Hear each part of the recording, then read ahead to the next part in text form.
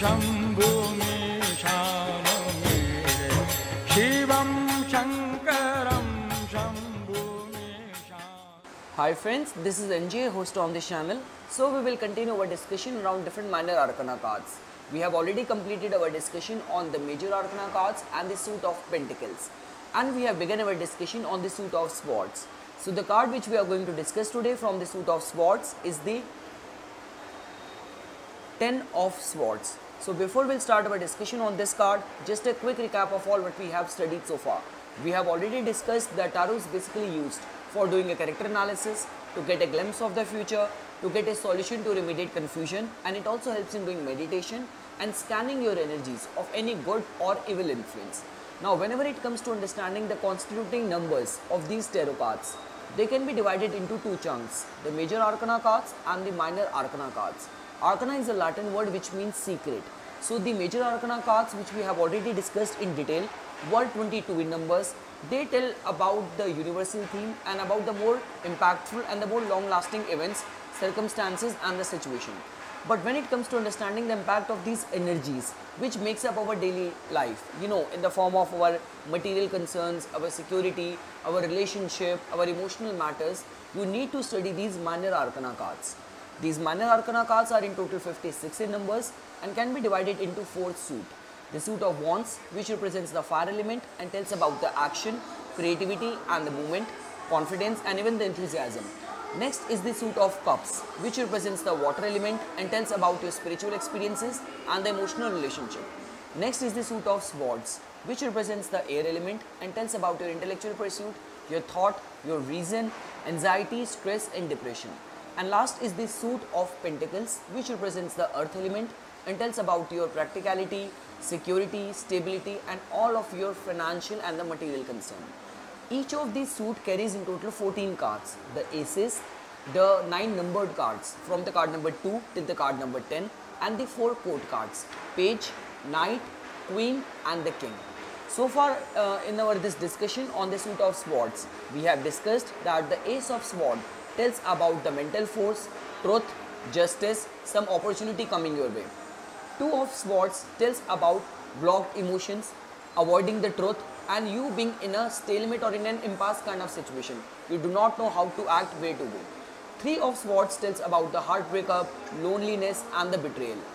Four of swords tells about the rest, contemplation and the person is uh, you know preparing for something big in quiet, in isolation. Five of swords tells about you acting out of your own self-interest, little bit of the open dishonor. Six of swords tells about feeling blues, recovering or rejuvenating from the previously felt pains and it also tells about the travels. Seven of swords tells about you know running away from the commitments from the situation. It also tells about the person is trying to become independent and little bit of the hidden dishonor. Eight of swords tells about when the person is restricted, is confused and is powerless. Nine of swords and the card just previous to it. You know where we have discussed that nine of swords tells about all of the situation where the person doesn't know which way to go, what to do. He is, you know, uh, being overwhelmed by the worries, anxieties, anguish, and the, you know, regrets. So the person is, you know, uh, waking up in the middle of the night and is crying, you know. So this is all what we get to know from the nine of the swords.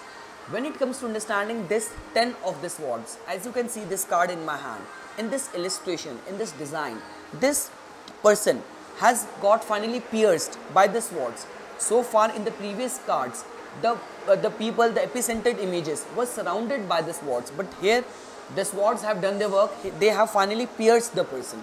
And even the sky above is very dark.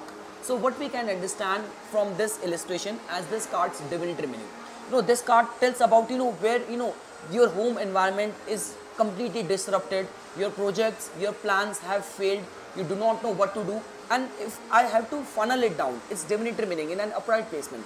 First of all, this card tells about you being at the bottom of your rope. So, because after this, there's nothing left. Because even in the nine of swords, the card previous to it, there was little bit of the hope. You were worrying and you had little bit of the hope, optimism that something might happen.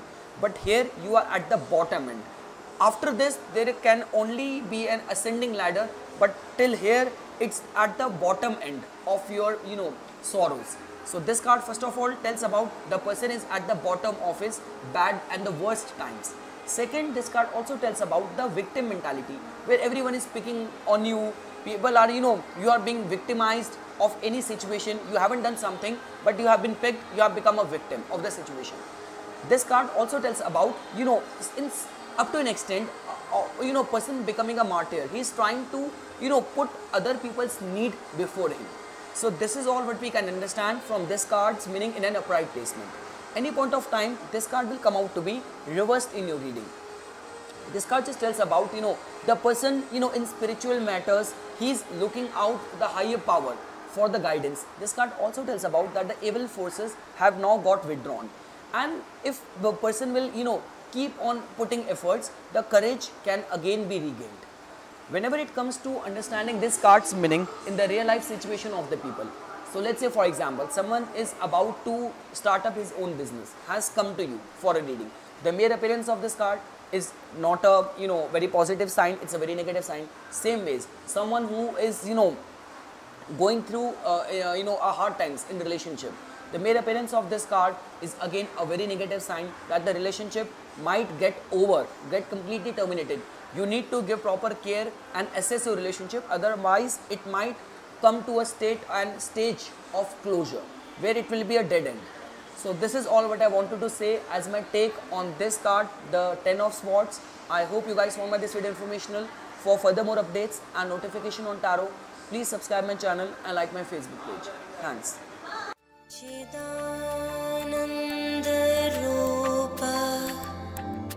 शिवो